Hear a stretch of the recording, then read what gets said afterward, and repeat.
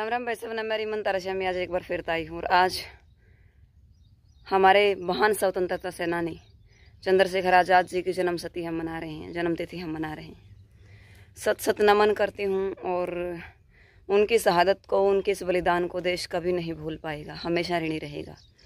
दूसरा, आज captain Lakshmi Sahgal, captain Lakshmi Sahgal, जो सुभाष चंद्र बोस रेजिडेंस में सुभाष चंद्र बोस, जो सेना थी उसके अंदर झांसी की रानी रेजिडेंस की जो कैप्टन थी, उनकी, उनका स्मृति दिवस आज हम मना रहे हैं। मना क्या रहे हैं? हम उनको उस स्मृति दिवस पर याद कर रहे हैं।